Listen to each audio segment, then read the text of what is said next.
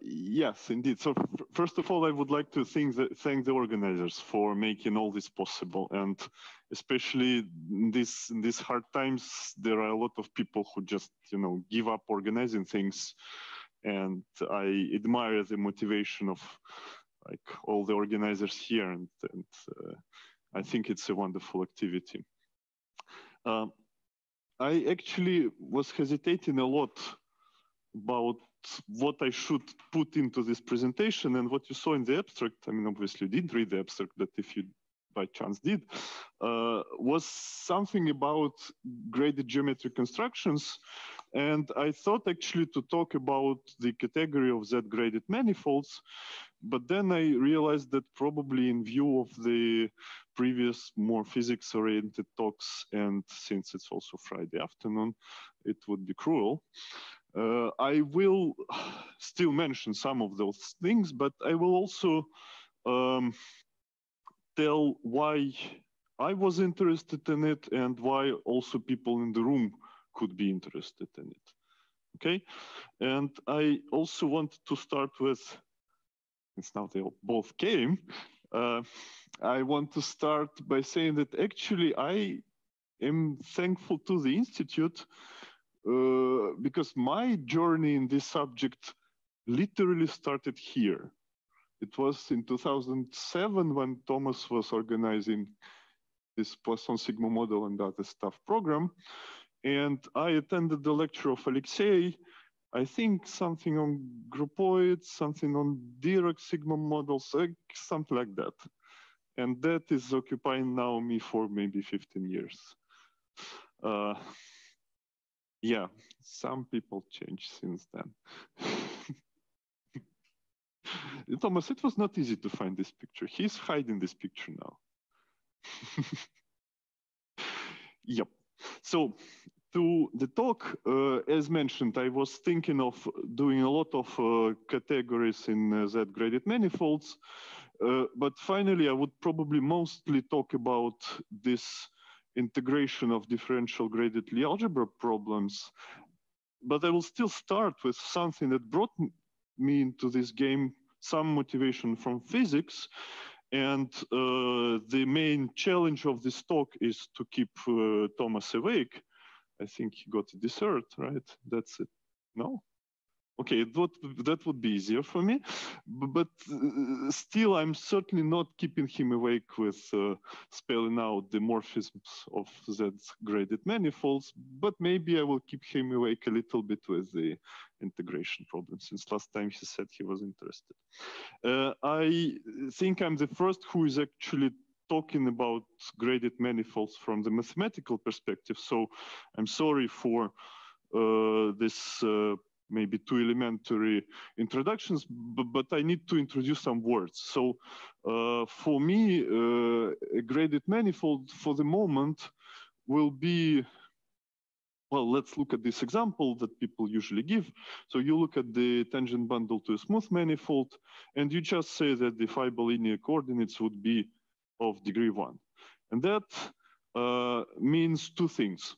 First of all, when you look at the sheaf of function functions on this guy, you would be able to count the degrees.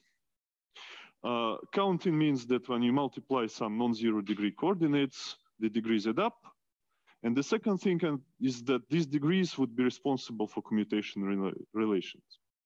So if you have two, uh, let's say, I will sometimes call them real, sometimes smooth, but that basically means the degree zero coordinates, they just commute as usual and degree non-zero coordinates commute or not depending on the degree. And uh, this degree one things anti-commute. Now, when you look at the of function, functions, there is a very natural uh, way to say what is a homogeneous function. You just count how many thetas you have in the in the game, and if you, if it's a homogeneous polynomial in thetas, then you say it's a degree function. And on these functions, you also know what is the commutation relation. So you have two non-zero degree functions, you get a minus sign up to some power when you permute them. I think all of you are used to this. I don't really need to spell these things out. And you also know that obviously this is the way to characterize the exterior algebra. Right, so these these uh, things are just graphically differential forms, right? Um, I'm telling this because for the moment that will be a kind of definition of a graded manifold. So some manifold with, uh, and I'm specifying that it is a Z grading defined on the sheaf of uh, functions on it. Um, Z grading for the moment, in contrast to Z2 grading, so I'm really, I really want to count the degrees. I don't uh, like saying if they're odd or even is not enough for me. I really need to count them. Uh, and in the maybe in the second half of the talk, it will be also important if it's Z graded or N graded. And also, I think in the talk of Alexander right after that, it will be also an important detail. And we will see, I hope I will have time for this, we will see that sometimes in the Z-graded case, you get uh, much more complicated constructions than in the N-graded case, right? Um, now, as you obviously know, there was a lot of work on this uh, on this uh, graded business. For example, to turn this kind of definition to real definition. And normally you don't read this slide. Ah, it's, it's supposed to be small enough, but actually the quality is good enough to read it. the, what you are supposed to read is for the moment is this, right? Graded manifolds are just manifolds with some decorations on them.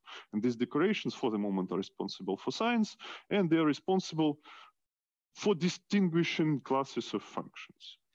Uh, and the uh, short message is that you can actually do a lot of things on graded manifolds that you are used to do on just smooth differential manifolds. Uh, then there are also things that you obviously cannot do on graded manifolds.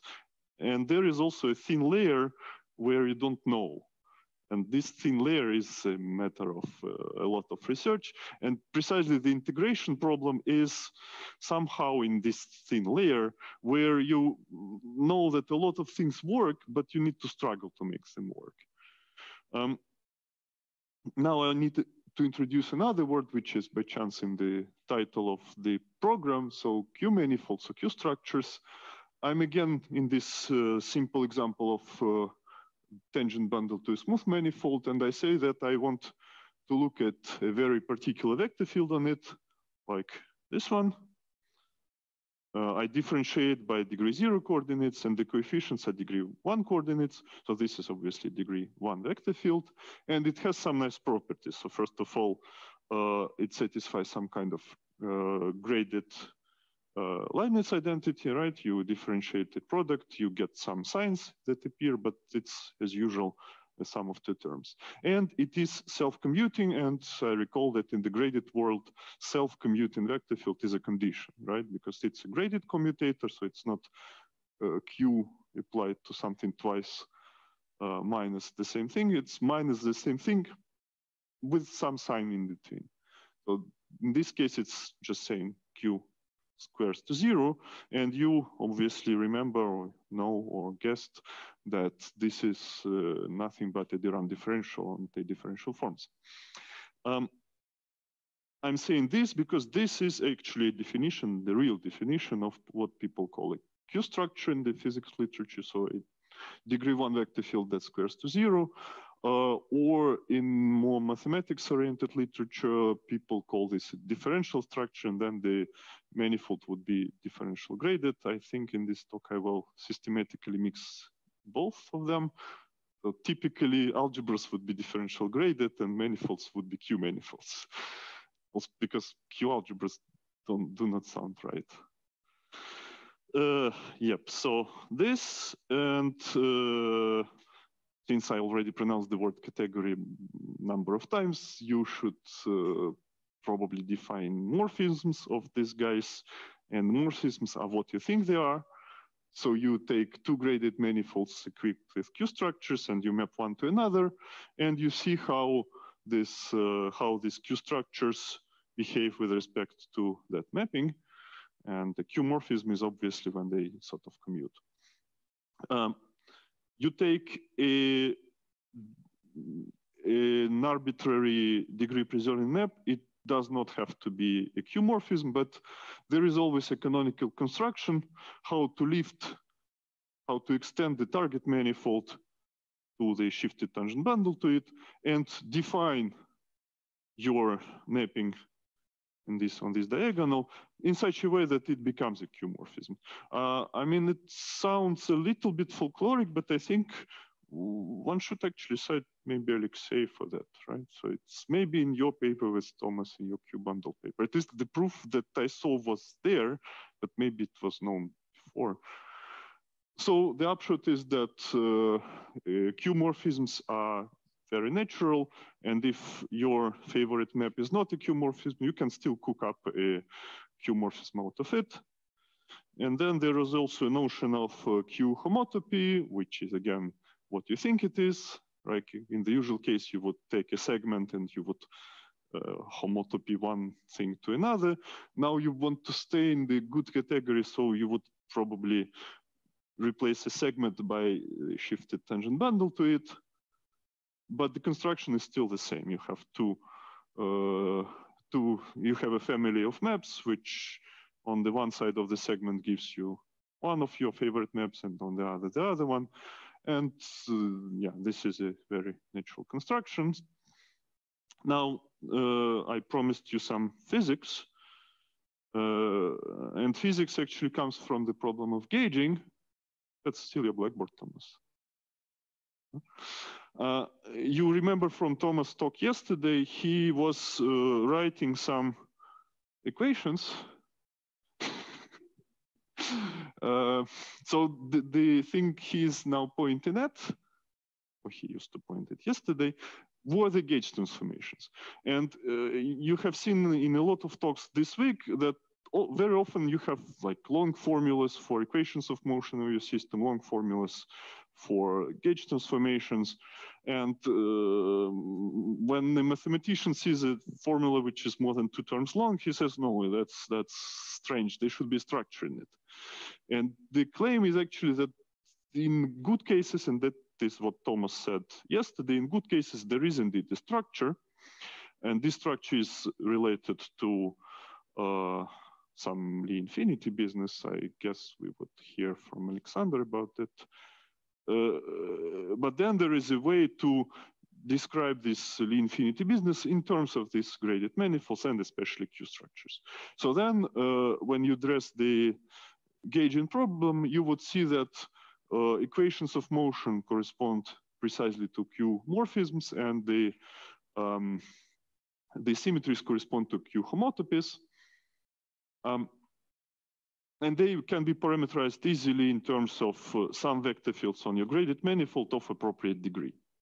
Now, what we did with Thomas and Alexei, we applied some of these constructions to the Dirac sigma model. I'm not telling this story here, but this is just to say that I arrived to this very, uh, very mathematical construction from actually a concrete uh, physics problem motivated by this place. Okay,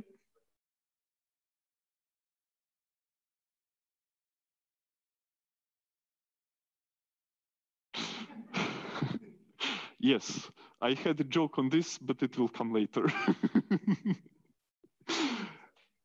but yeah, I mean, actually, you see all the all the quotes in the in the picture, and uh, these days it's not easy.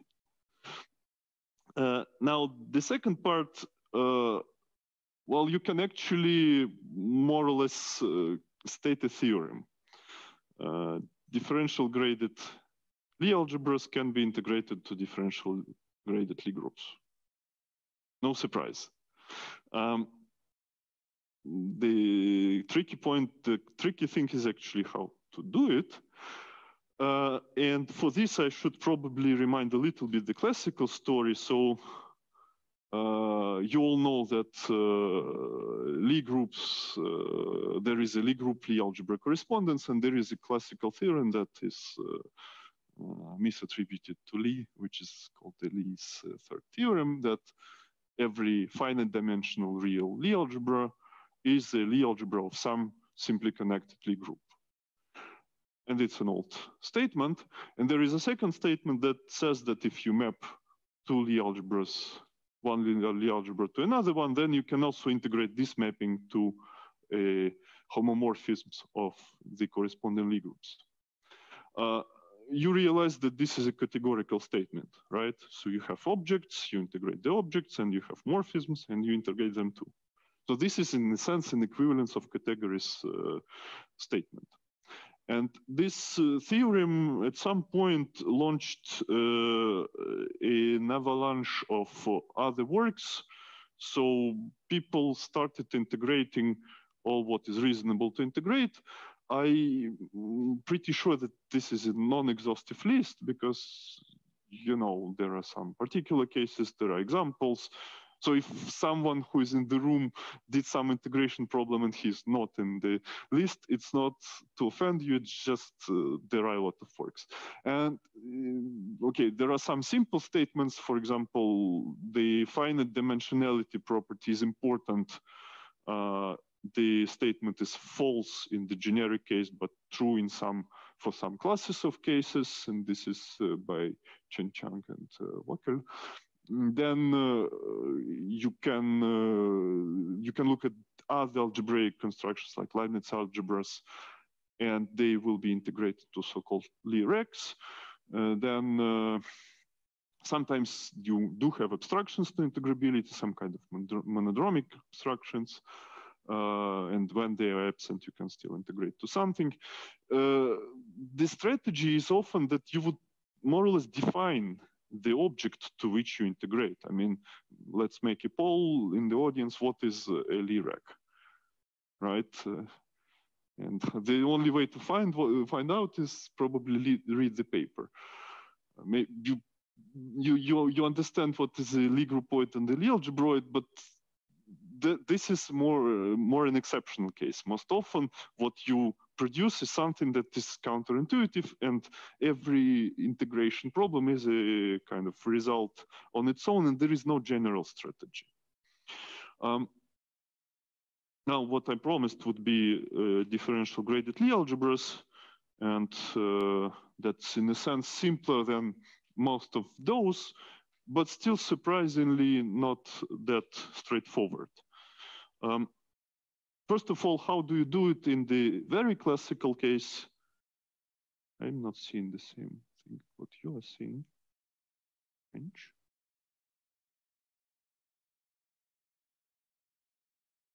What do you see there? See the same thing, right? Interesting. Which, I mean, mine okay, let's try it again. Okay, now you don't see anything. That makes sense.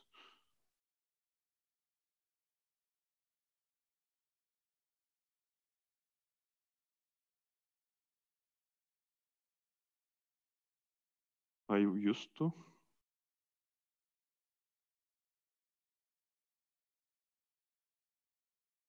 Sorry. Strange. I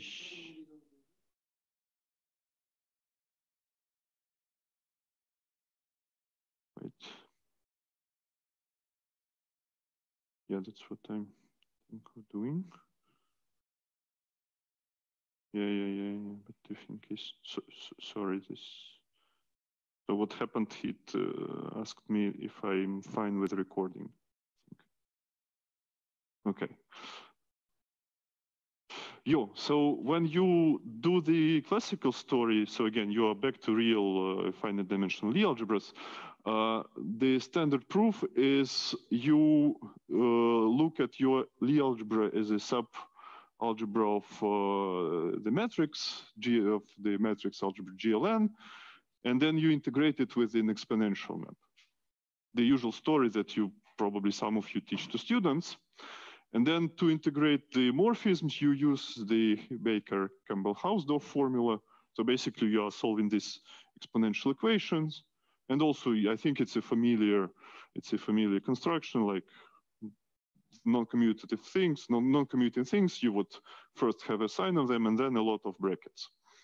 Uh, this does not work in the graded case. Well, I don't know. It doesn't work, and nobody tried, or someone tried. But I mean, already this this uh, embedding in the GLN uh, doesn't look uh, doesn't look nice. And what actually work works is uh, some kind of alternative approach, which is also, by the way, in Wikipedia. Uh, what you are supposed to look at is the algebras on your is the algebra functions on your group, and then you define some Hopf algebra structure on it, uh, and you identify this Hopf algebra by some classical some classical theorems like Milnor-Moore uh, to the uh, universal enveloping algebra of your the algebra, and then you would see the correspondence. Uh, this uh, this uh, sounds like something that can survive uh, adding the word graded at each step. So this is the picture that Alexei sent to me yesterday. And I will pretend, so there is, uh, that it's in Russian and there is a word integrate, but with a typo. So I tried to, I mean, Leonid translated it with a typo. Um, I pretend that uh, Alexei didn't mean anything personal, and uh, he will pretend that I didn't understand whom he meant. and people who know the story they know who, who, who we are talking about. But uh, okay the message is that if someone says okay this looks like it should survive the graded uh, word in all the steps uh, is most probably a little bit wrong. In the sense that you see it's a wikipedia article and some of the links i have clicked on them so you click on the Milnor-Moore theorem and you look at the statement. You say, okay, most of the parts will still survive the edit of adding of the graded word, but not all of them. And then you click to another layer, and then at some point you end up in some very, very technical problem uh, of just the definition of what you are doing. Um, it is correct, it works, but you need to make it work out. And the coming 10 minutes, I would explain you how this would work out, but also I will give you the other ingredients. So we agreed that we want differential graded Lie algebras. That slide was about just graded Lie algebras. And the differential graded Lie algebras, you need to uh, again, in the classical case, think of what could be the analog of your Q structure. And the analog of Q, Q structure is obviously just a vector field with no conditions on it. Uh, and this is something that also works. So uh, you look at uh, what is called multiplicative vector fields, uh, the vector fields that are related to themselves using the multiplication operation, right? Um, and in your integration procedure, you want to keep track of that, right? You have something that is acting in the group on the algebra, and they, they have somehow to talk to each other. Uh, the way to make them talk to each other is called Van Est isomorphism. I'm giving you the pieces of the puzzle. I'm really not giving you details, but if you piece them all together, you will get the complete picture. So what this, uh, what you should use is the so-called Van isomorphism that says that uh, it is good to look at uh, some uh, cocycles uh, instead of these multiplicative vector fields. And the first step, you would say that actually there is a one-to-one -one correspondence in a sense between the multiplicative vector fields and some cocycles in the appropriate in the appropriate spaces, right? Both for for the Lie groups and for the the algebras, and then uh, the isomorphism would tell you that they are all related. And again, this is a classical picture. This is an absolutely not graded business, but it goes to the graded world verbatim, like out of the box.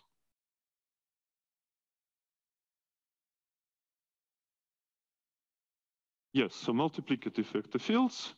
you, so you just have a category of manifolds with selected vector fields. This is a simple thing, right? Just you, and morphisms would push forward vector fields to other vector fields. And then you have a mapping, right? x times x to x, which is a multiplication. And you want your vector field to be related. So you, you, you define what is the vector fields that are F related, and this is just that, right? This kind of, P is the tangent map. And then multiplicative vector fields are supposed to be related in this, in this sense. So somehow you have vector fields that are compatible with multiplication. Okay? But as mentioned, this is not a convenient thing, not a convenient thing to work with. The more convenient thing is to uh, to work with some cocycles, and this this construction precisely says that like you have rather kind of differential forms business than the vector field business. Okay. So now, now it kind of seems that we have all the necessary ingredients. We're able to integrate uh, Lie algebras to Lie groups. We're able to integrate differential Lie algebras to differential Lie groups and graded Lie algebras to graded Lie groups. That's more or less true. So this is the place, this is actually the place where someone comes to and says integrate. Um, so the vector field is not complicated. This just works with no modific modifications. Uh, the Hopf algebra business, you need to do some technicalities, but they also work. And for the moment, I still didn't tell you what is actually the object. So what is this mysterious thing that we will define as the intermediary step between the algebras and the groups? Um, so the Hopf business, if you know the Hopf algebras, then this is just the usual picture you would see, right? You have uh, you have some multiplication and some co-multiplication, and they talk to each other with a bunch of axioms. You want to define graded Hopf algebras. It's precisely that, up to some links that you click. And these warning signs are actually related to mostly to the end of my talk. So how you define functional spaces on graded manifolds. And for example, the tricky point is that instead of just taking the tensor products of graded manifolds, you should complete these tensor products. Uh, like think of uh, products of two manifolds and you look at functions on this product, it is not always the product of to of it doesn't always split into product, but it is a uh, maybe a series of this of these splitted products. The same thing happens in the graded world, and you actually do need this because you need to show some properties of this of the spaces like is it Fréchet or is it nuclear or is it does it have some some, some usual analytic properties and in the classical case that would be a textbook of 1950s. And in the graded case, it will still be the textbook of 1950s, but it will not be written there. So you'll have to, to, to go through the proof yourself again. Uh, and now the last piece of the puzzle is probably the most important one. And I think that was the idea of Alexei some maybe 10 years ago right? Maybe you should note at some point that you don't go directly from groups to algebras or the other way around. You go through a construction which is called the graded Harish-Chandra pair. Uh, because actually looking at the Lie algebra of the graded Lie algebra itself doesn't give you enough structure. You need somehow to distinguish what happens on the base and what happens on the graded components. Uh, and the graded Harish-Chandra pairs is uh, is uh, a couple the degree zero part of your group and the whole graded Lie algebra.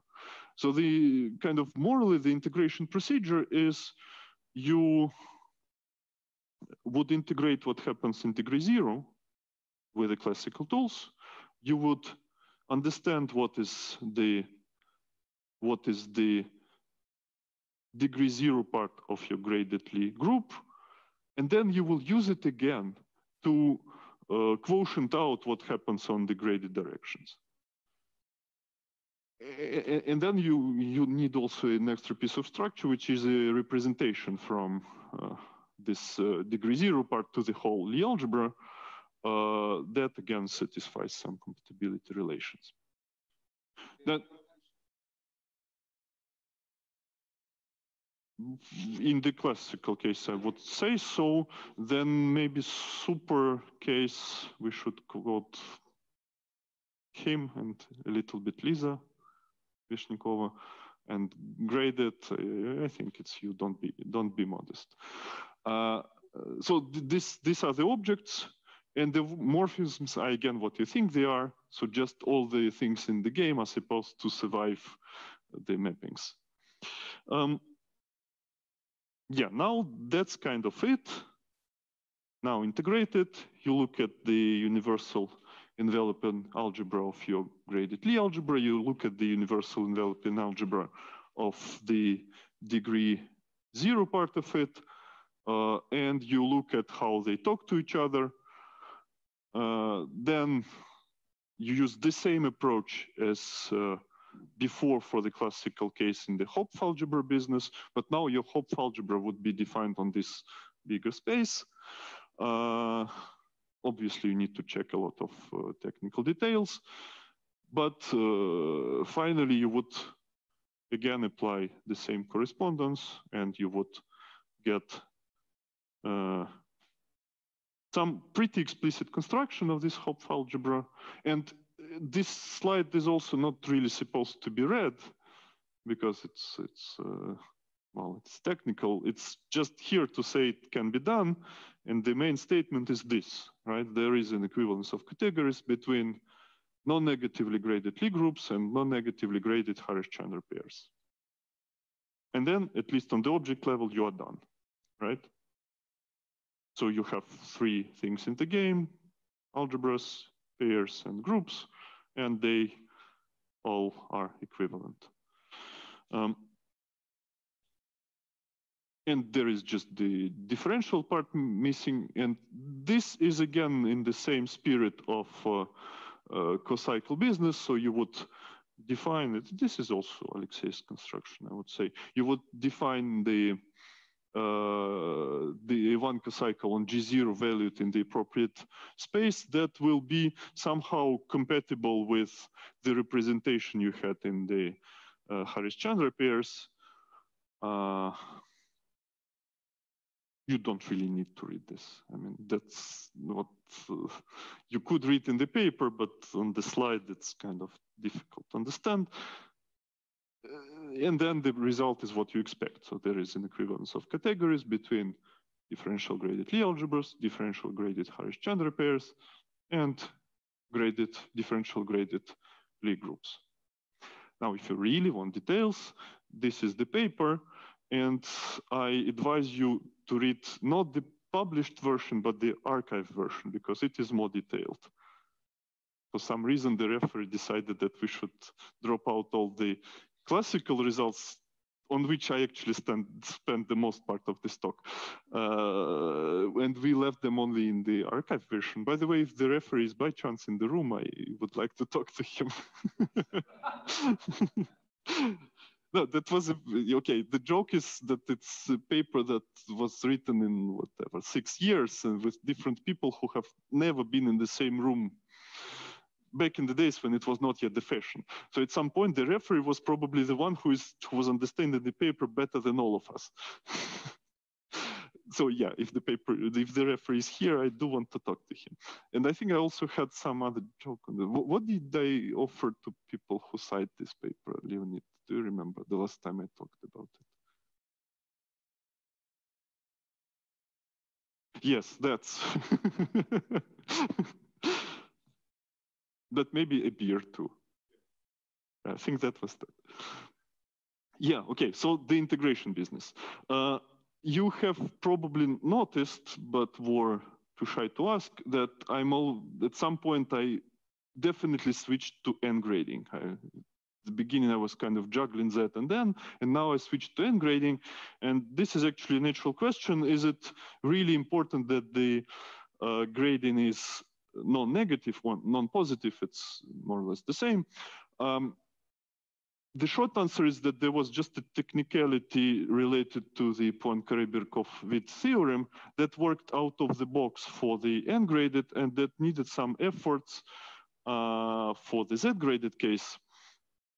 And if you do this, this, kind of graded geometry, you could imagine why it needs some effort because you need to order some basis of some algebra. And when you have a natural ordering of the coordinates, then it goes well. And if you have some positive and negative degrees, I will come to it uh, right now, uh, then it's a little bit more complicated.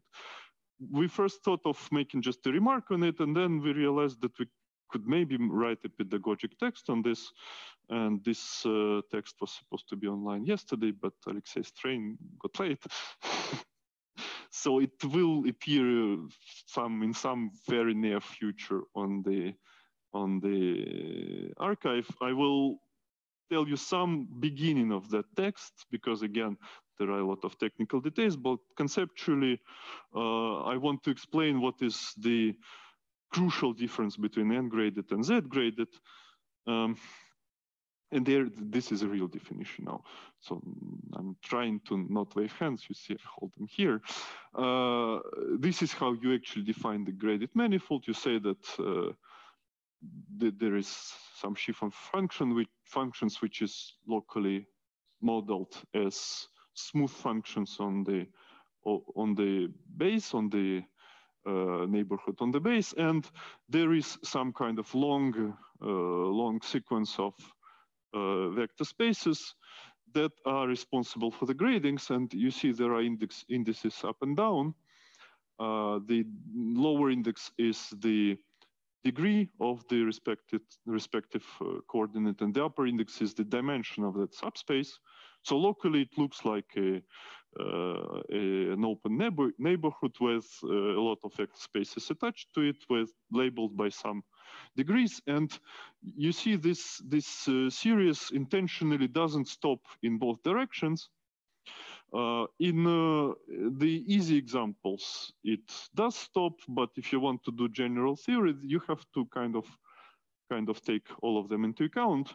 Um, maybe just some remarks. We tried to read some literature on it, and we uh, found a lot of words that people use to describe particular cases of that. For example, there is a very uh, there is a very established thing of saying that the graded manifold is a finite degree. It means that this series actually stops. So there are no generators of degrees higher than something and lower than something.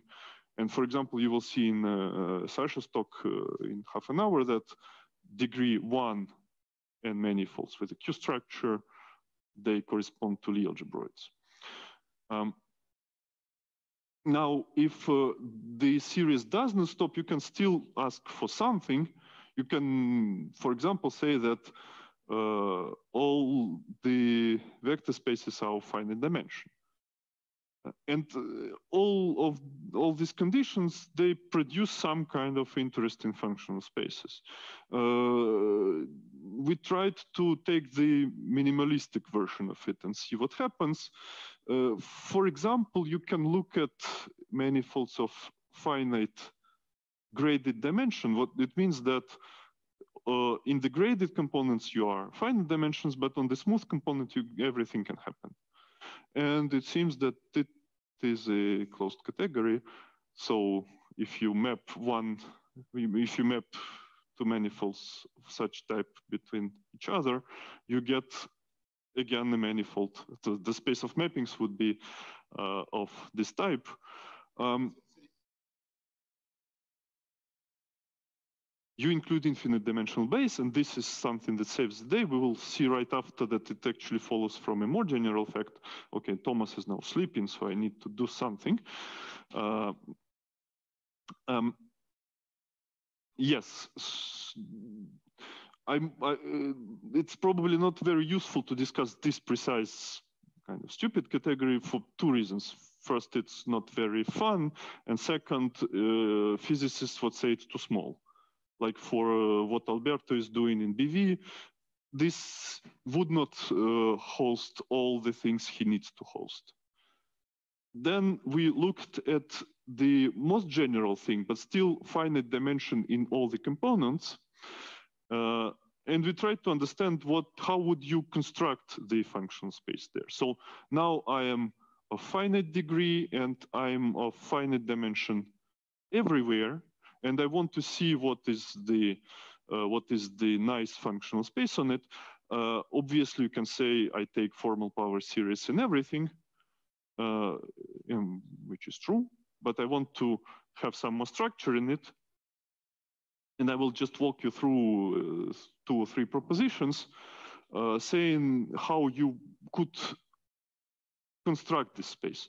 So the first thing you do, obviously, you would take polynomials in non-zero degree variables with smooth coefficients of degree zero variables like you would do in supergeometry or n-graded geometry. But here you understand that the series do not have to stop, right? So if I if I uh, do supergeometry or if I do n-graded geometry, at some point I would run into uh, run into repetitions of the coordinates, and if are anti-commuting, they will obviously vanish. Um, now, if I have um, positive and negative degrees, I can eventually produce a degree zero combination of non-nilpotent uh, elements, uh, and then plug it into a smooth function. So what this proposition says is that if I just take polynomial functions of degrees of non-zero degree coordinates with uh, smooth coefficients, this does not survive coordinate changes, right? Well, this is what is written.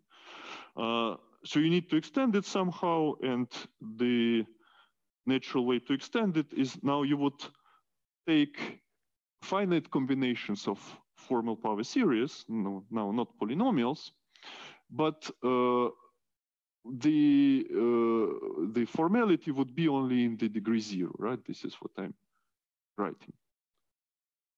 Right, so you allow kind of uh, series in the combinations of variables that in total produce degree zero, and all which is outside is of non-zero degree. You, you see the difference, right? Before I didn't allow this. Before I allowed only real degree zero variables. And then the uh, statement is this is actually stable with respect to the same coordinate changes.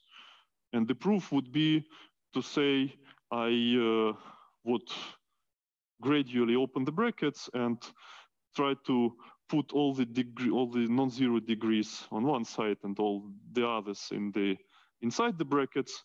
And as soon as I recover the the series in degree zero coordinates, I would say, okay, what is the function? What is the smooth function for which this is a Taylor series, and this is the Borel's lemma. So you would construct this in, in, the, in that way.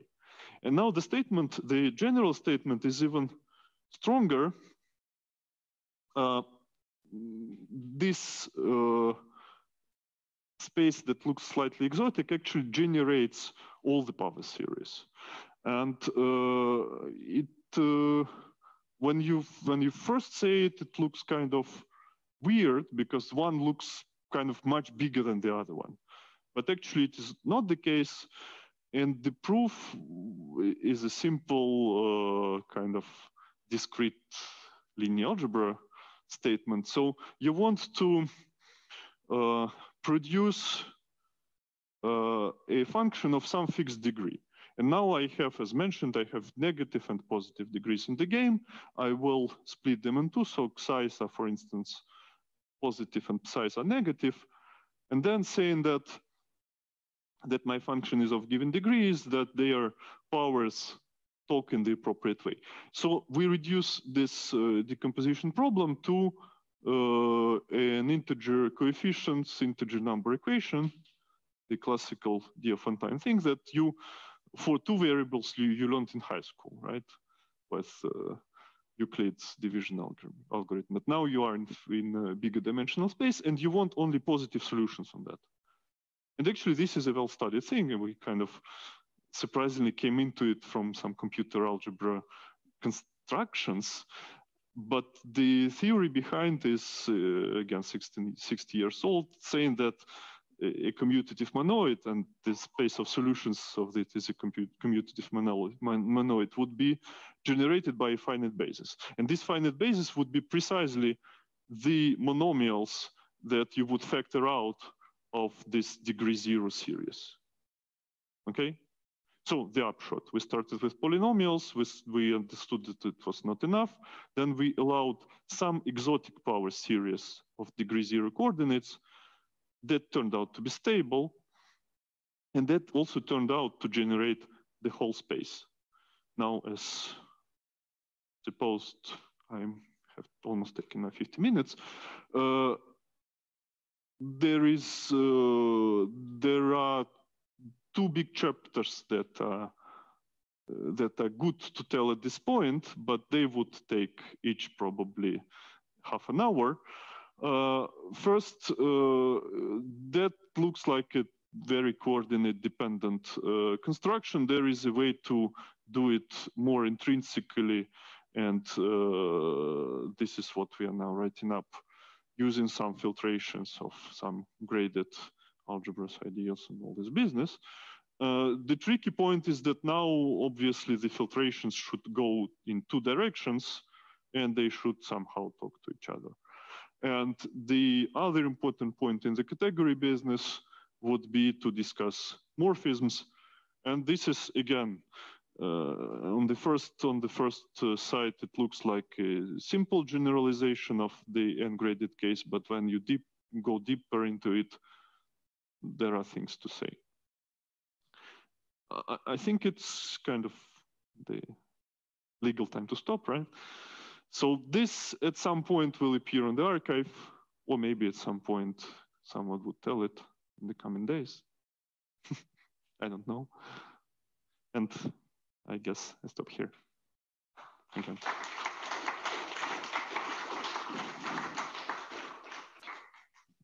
Oh, thank you very much for the lecture. Are there any questions or comments?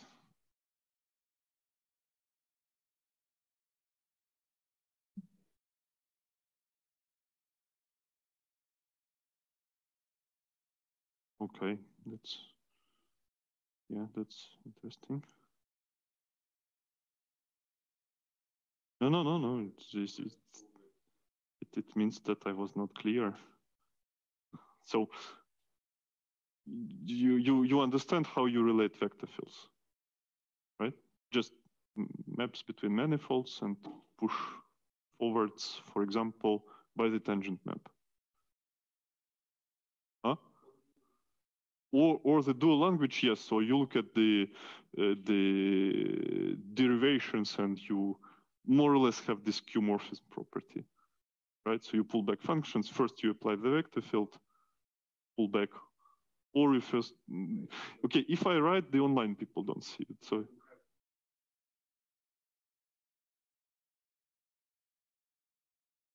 No, but this there, there are two different vector fields that are acting. You can first differentiate, then pull back, or you first pull back and then differentiate. And this is supposed to commute. Right? Or you can look at the same map and push forward the vector. So this is again this is, and this is classical differential geometry, nothing really nothing really exceptional. Now you have a particular mapping, right, from uh, group times group to itself. And then you have uh, in, on each step you have on, on each part you have a vector field and you forward. On G times G, you have a product vector field, right? You kind of a sum vector field, right? So, so you, have, you have a vector field then on, on G. Then you take a direct product of G with G, you have a product vector field, right? On, on yeah, and then there is a multiplication map and it relates with yeah, I'm, okay, I'm, I'm willing to say sum, right? and this sum goes to, to, to, to, to one. That's, Yeah, sum is a product vector. But you don't call this sum of the Like product. product Yeah, plus on yeah. structure seems to. yeah, so, so sounds convincing. sounds correct at least.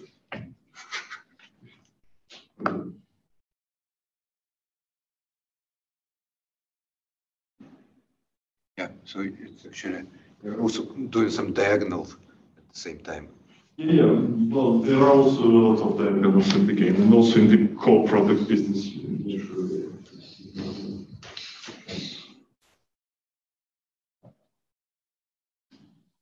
Uh, Yes, how constructive is the relation between DGLA and DGLG? So can I take uh, gradient infinitesimal symmetries of Thomas and compute uh, DGLG associated? Yes, I, to- I totally bless you for that. Yes.